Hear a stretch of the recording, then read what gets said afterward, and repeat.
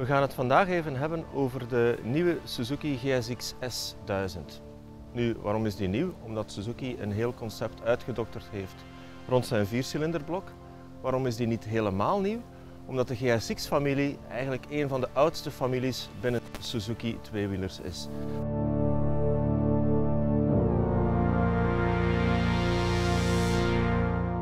Die motoren werden ronduit legendarisch toen de GSX-R 750 in de jaren 80 op de proppen kwam. En dat was eigenlijk de eerste moderne sportmotor met een kuip op. De prestaties waren waanzinnig voor die dagen. En het frame was zelfs voor die dagen niet zo waanzinnig, eerder slapjes zelfs. Maar dat heeft Suzuki er niet van weerhouden om een heel imperium uit te bouwen rond de GSX-naam.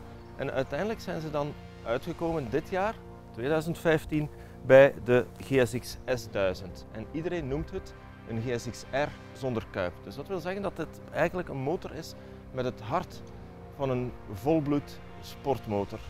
Maar gestript van alle overbodige onderdelen, met toch nog een, gezond vermogen van 144 pk.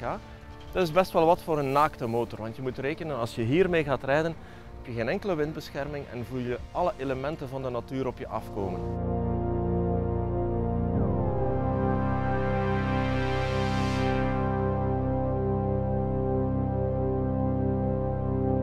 Daarom heeft Suzuki er ook een aantal extra's opgestoken. Je hebt hier een drievoudig instelbare tractiecontrole, wat de grip van de achterband moet garanderen op elk soort wegdek. En in optie is er ook een ABS. Maar daar stopt het qua heel vooruitstrevende elektronica eigenlijk. Er is tegenwoordig een rage die neigt naar een overvloed van elektronica, waarbij je niet enkel ABS hebt en tractiecontrole, maar ook nog quickshifters, launch control, eh, ABS voor in de bochten en ga zo maar door. Zelfs wheelie controle, dat zit er allemaal op deze niet op. Dus je hebt toch nog een heel erg groot gevoel van echt motorrijden.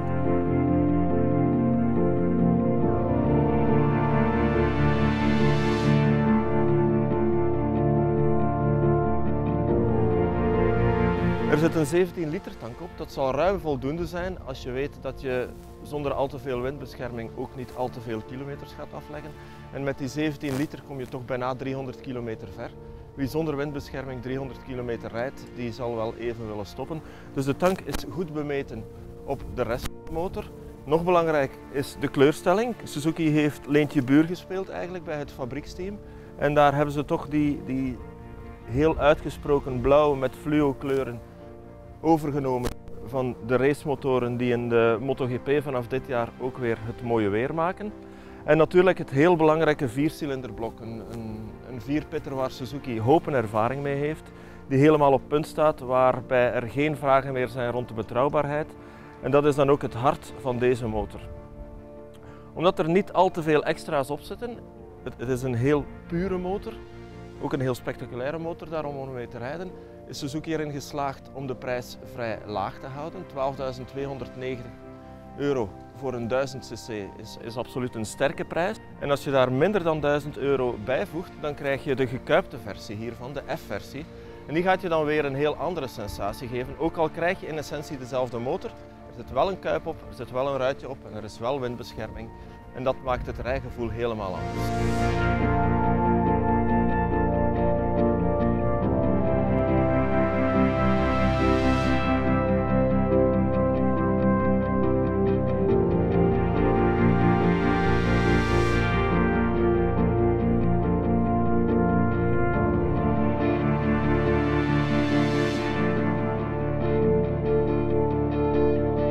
Maar het hart, de essentie, blijft die leuke, betrouwbare en heel sterke vierpitter van Suzuki.